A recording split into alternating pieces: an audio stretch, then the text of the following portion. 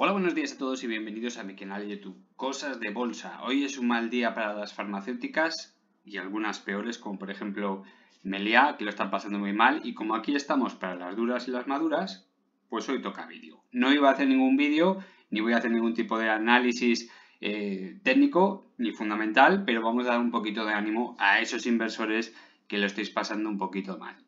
También es cierto que cuanto peor paséis vosotros eh, una situación psicológica como esta, antes vendrán las subidas. Eso es ley de vida. En bolsa funciona así. Cuando nadie quiere una acción es cuando vienen las subidas posteriores. Cuando luego la gente se pelee por entrar es cuando los demás tenéis que salir. Y para eso estamos aquí. Bien, ¿por qué voy a hacer un vídeo? Bueno, pues para contaros algo muy fundamental que a la gente se les escapa.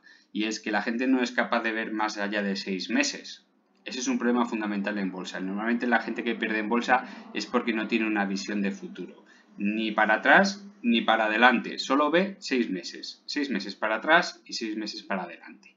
Algunas veces os he hablado de ArcelorMittal. Aquí tengo el gráfico mensual de los últimos años y os puse un ejemplo de personas que yo conozco, conocía a una persona en la cual, bueno, pues había comprado ArcelorMittal, que os comenté en aquel día por qué no había que hacer este tipo de inversiones, que había tenido las acciones en 8 euros, en realidad compró a 9 euros y a 8 euros, su precio medio era 8,50 y vendió aproximadamente en esta zona aquí, estamos hablando del año 2016, vendió aproximadamente en unos 15 euros redondos. Bueno, pues ahora es el momento de decir la verdad, ese fui yo, no fue un amigo, ese fui yo.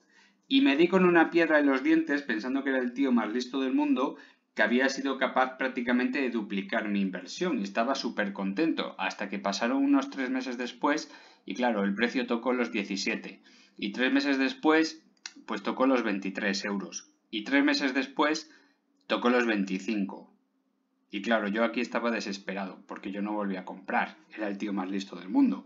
Luego corrigió, aquí ya me empecé a tranquilizar, pero claro, un año, seis meses después aproximadamente, tocó los 29 euros. ¿Vale? Entonces, para que no os pase esto, para que no os pase esto, que es donde puede estar ahora mismo Farmamar, en esta zona de aquí, siempre os digo en los vídeos que hay que tener una paciencia infinita. Muchísima, muchísima paciencia. Y confiar. Aquí el gráfico estaba mucho más difícil porque no se había repetido este patrón. También es cierto que yo siempre os animo a comprar en esta zona y tener la suficiente paciencia como para esperar. Hay gente que no es capaz de esperar, otra gente sí es capaz de esperar, simplemente tenéis que analizar los fundamentales y la situación económica. Y todo está a favor, ¿vale? Todo está a favor. Os pongo otro ejemplo, imaginaros esto es Apple, eh, pues muchísima gente haya comprado Apple por debajo de un euro, ya no, tampoco voy a poner precio mínimo, pero por ejemplo Apple a un euro y cuando vendieron aquí a 6 euros, ah, perdón, a 6 dólares, lógicamente es en dólares, bueno, pues fue una de las mejores inversiones de su vida, seguramente. Estamos hablando de pasar de un dólar a 6, una venta maravillosa. Y después a lo mejor dijeron, vamos a esperar a ver si baja un dólar y compramos. Bueno, pues no bajó hasta el dólar, se quedó en 2 dólares y medio aproximadamente. Y tampoco fue esperar demasiado, unos pocos años después, tampoco era esperar mucho, estamos hablando del año 2005, bueno, pues en el año 2012, siete años después, el que haya invertido aquí una cierta cantidad de dinero, tan solo siete años después hubiese sido millonario. Pero no tranquilos con eso, si hubiesen esperado un poquito más, pues hubiesen sido multimillonarios. Y si hubiesen esperado más, y hubiesen esperado un poquito más, y hubiesen esperado un poquito más, y hubiesen confiado en los fundamentales, si se hubiesen esperado, esperado, pues aquí serían multi, multi, multimillonarios. No es el caso de Farmamar, yo soy el primero que dice que el precio objetivo está rondando los 200 euros, pero también es cierto que estamos hablando de unos precios ridículos. En 54,4 más o menos, 54,4 euros pierde los mil millones. Es la primera vez, es la primera vez desde que está en el IBEX que no inflan el precio antes de una revisión. La primera vez. Cada vez que hay una revisión, inflan el precio. Y después vienen las grandes caídas. Esta es la contraria viene una revisión del IBEX, quién va a entrar, quién va a salir. Farmamar es una de las candidatas, por supuesto, solo le salva un par de datos y ahora pues no han querido salvarla. Por algo será, algo se teje. ¿Vale? En cuanto a los fundamentales, estamos hablando pues siempre de noticias estupendas. Ayer publicábamos una en Twitter, que la habíamos visto también en el foro de PC Bolsa, donde, bueno, pues una investigación no es un estudio de investigación para medicamentos, sino que es de confirmación de que la lurbinectedina está dando los mismos resultados que se han observado en la fase 2. ¿Vale? Por poneros un ejemplo. Habíamos escuchado mil veces en, la tele que las vacunas tenían unos resultados del 90% de eficacia, que luego pasado unos meses eh, resulta que eran 80, algunas no llegan ya ni al 50.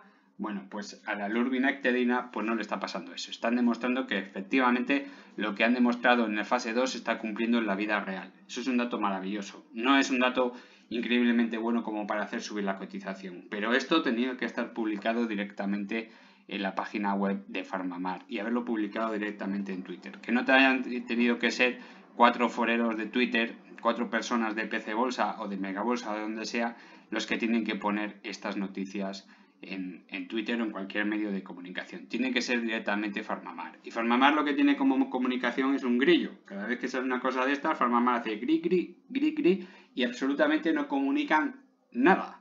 Y eso es por algo. Y no sabemos qué es ese algo. Simplemente hay que esperar y tener paciencia. Está claro que los fundamentales son los que son. Yo siempre lo he dicho muchas veces. Aquí tenemos una serie de informes. Este es el informe anual del 2021, donde tenemos, bueno, pues este John Delis, donde está ya en el mercado, tenemos a Plidin en el mercado para meloma múltiple, tenemos a Cerca para cáncer de pulmón en segunda línea en Estados Unidos, ya se está vendiendo bastante bien, el cáncer de pulmón microcítico en fase 3, cáncer de pulmón microcítico para segunda línea fase 3, luego tenemos una fase 2 por aquí, tenemos una fase 1, Ecubectedin, ¿vale? Es otro medicamento, el PM14 nuevo, ya lo tenemos en fase 2, tenemos otras dos fases, unas abiertas, bueno, tenemos un montón de ensayos. ¿Y eso a qué viene? Bueno, y aparte de hablar de Silentis, de enfermedades del ojo seco, que está a mitad en una fase 3, que sabremos algo a principio de este año, degeneración macular, alergia, bueno, un montón de historias y desarrollos tecnológicos con de estos dos, que las formulaciones y modificaciones, ¿no? Un montón de investigaciones abiertas que siempre dan a buenos datos. Seguimos bajando por el resumen y aquí tenemos los datos económicos, que es lo que nos interesa, aparte de la carta del presidente, que me importa tres narices. Pero bueno, aquí vienen los datos buenos, ¿verdad? El resultado neto del 2021 fueron 92 millones, que quitando los 22 millones de pago adicional que recibimos en el 2022, se quedaban aproximadamente unos 70 millones de euros. Fijaros, ¿eh? en el 2021, 70 millones de euros de beneficio. ¿Cuánto invertíamos en investigación, en gastos de I más D en el 2021? En todo el 2021 fueron 72 millones de euros en I más D. Señores, Farmamar se gasta 40 millones de euros, ¿dónde lo tengo? 40 millones de euros en I más D solo en los seis primeros meses de este año. Es decir, que hemos pasado de gastarnos 72 millones en un año a gastarnos 40 en seis meses, ¿vale? A cambio que hemos obtenido un beneficio aproximado de 35 millones, habiendo perdido una enorme cantidad de dinero que viene de Francia. Y hemos invertido 8 millones de euros más. Nos han metido un engaño de bobos que no veas tú que nos han quitado un millón y medio de las cuentas, así que andábamos por 37 millones reales de beneficio. Y estamos gastando más en I+D. Tenemos una deuda de 40 millones que estamos pagando prácticamente 3 millones al trimestre. Quiere decir que casi llegamos al millón por mes. Quiere decir que en 3 años y 3 meses nos la quitamos de encima. Tenemos 250 millones de euros de caja. Tenemos casi 500 millones de euros por cobrar. Ya no, eh, bueno, 500 millones de dólares por cobrar, que al cambio son 500 millones de euros ahora mismo. Dependiendo de los hitos, por supuesto. ¿Me estáis diciendo que eso no vale mil millones? Estoy diciendo que vale Farmamar 54 euros, que vale 75, que vale 80, como en algunas casas de apuesta. Por favor, no os dejéis engañar, simplemente son movimientos de la bolsa. Y para que alguno no lo sepa y alguno no lo crea, solo tenéis que venir aquí a Bolsas de Madrid, buscar Farmamar y donde pone aquí negociaciones y empezáis a ver las operaciones que ha habido desde esta mañana, ¿vale? Estas son ordenadas por hora y fecha. Voy a actualizar la página, que seguramente alguno pondrá. Y mirad, desde las 14.56 ya podéis ver todas las operaciones. Flags, banderas, aquí tenéis lo que pone algo, ¿verdad? ¿Alguien sabe lo que significa algo? De algoritmo, a lo mejor puede ser o es algo extraño. No, es algoritmo, ¿verdad? Mirar todas las operaciones que hay y mirar todo lo que pone algoritmo, ¿verdad? Llama un poquito la atención. Pero si vosotros seguís bajando porque en la, pestaña siguiente, fijaros, ¿eh? algoritmo, algoritmo, algoritmo, algoritmo, en la siguiente, si le seguís dando a siguiente, os dais cuenta que más del 90% de las operaciones que se están llevando hoy y cualquier otro día son algoritmos. Algoritmos que están modificando la cotización. Cualquier otra empresa estaría ahora mismo dando palmas con las orejas por todas las noticias que nos están llegando del planeta. Una empresa normal, una empresa absolutamente normal, con una comunicación normal, en el momento que le hubiesen dado en, Inglaterra el, visto bueno que le dieron hace unas semanas y han dicho que este medicamento, bueno, pues hay que prestarle cierta atención porque vale mucho la pena, eso tendría que haber salido en todos los medios de comunicación posibles. Tendría que haber salido de la empresa diciendo, tenemos un contrato con esta empresa que va a distribuir el medicamento por estos países, nos vamos a llevar unos royalties del 50%, no del 17 o el 19% que nos llevamos a Estados Unidos, sino del 50%, Inglaterra, Irlanda, países del este, países del norte de Europa, y de un 40% en países árabes, me parece que está incluido Marruecos, no lo sé, tendría que mirarlo, estoy hablando de memoria, y no sale en ningún sitio. Tengo que ser yo el que está buscando esa información o cualquier otra persona de cualquier foro y tener que publicarlo. Eso tenía que estar publicado directamente en Farmamar ya de un enlace. Eso tenía que ser así y no lo es. Es una pena. Y por algo será, por algo será que no se quiera saber todos estos datos.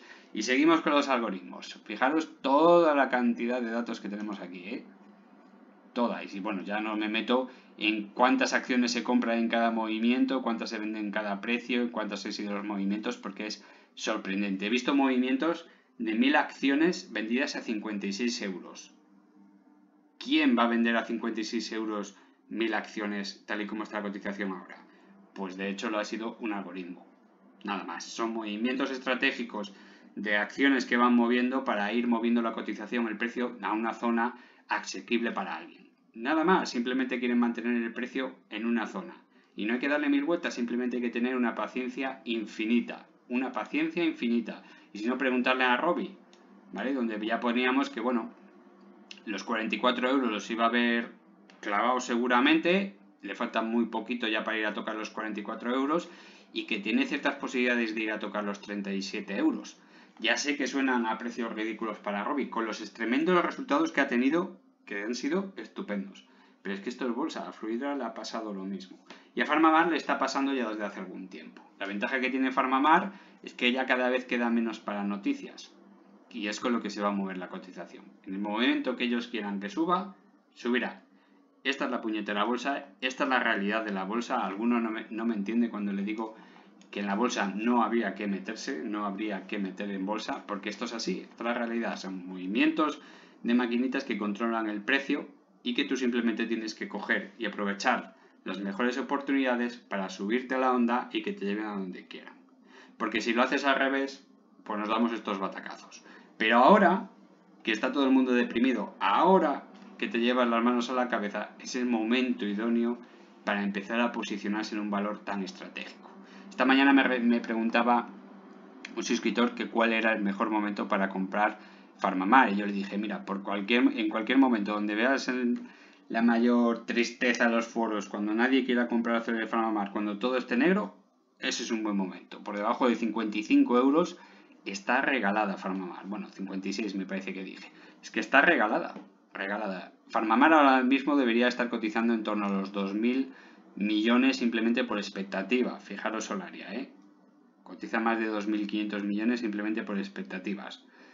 Farmamar tendría que estar así también, 2.000 millones. Estamos hablando de unos ciento y poco euros. He bajado bastante el precio, un precio lo he puesto entre 84 y 90 euros, ¿vale? En torno a, ese, a ese, esa capitalización, para no exagerar los datos. Pero eso sería un precio más que razonable a día de hoy. En el momento que salgan noticias, salgan aprobaciones, salgan comercializaciones, aumenten los royalties porque se están vendiendo ya en otros países, entonces ya nos proyectaría a en torno entre 200 y 225 euros, que es donde yo creo que puede estar a día de hoy con todo lo que estamos viendo la cotización de Farmamar.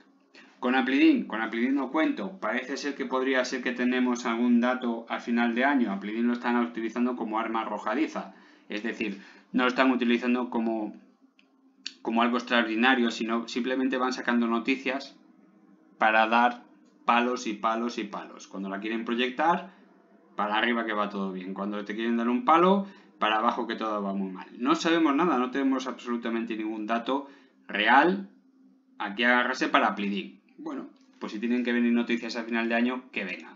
Yo de hecho no cuento con él, directamente no lo cuento. Y fijaros, eh, lo que estamos viendo, le voy a poner aquí el dato para que nadie, por si acaso nadie me cree, es de los 40 millones de euros que nos hemos gastado, 9,9 corresponden a Plidin.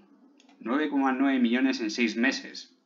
¿De acuerdo? Si no estuviese esa investigación de Plidin, estaríamos hablando que en vez de ganar 36 millones y algo que hemos ganado, estaríamos hablando de ganar 46 millones.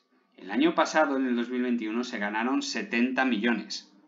Se ganaron 70 millones. Otros 22 vinieron de regalo por cumplimiento de Cepcelca. Pero realmente el negocio fueron 70, 70 millones aproximadamente. Estoy hablando de memoria. En este caso estamos ganando ya 36 millones y medio, que es algo más de la mitad de lo que se ganó en el año 2021. Y estamos gastando más en I+D. Así que, con los datos en la mesa, mucha tranquilidad porque Forma está hiper, hiper barata. Bueno, pues hasta aquí el vídeo de hoy. Simplemente era para daros un punto de vista, otro punto de vista y que no cunda el pánico y estaros muy tranquilos y que no os pase como a mí cuando compré aquí y vendí aquí. ¿Vale? No fui capaz de ver todo este movimiento. Aquí tenía menos experiencia, si tenía experiencia, me creía el tío más listo del mundo y resulta que era el más bobo. Así que que no os pase lo mismo. Un saludo a todos y nos vemos mañana. Chao.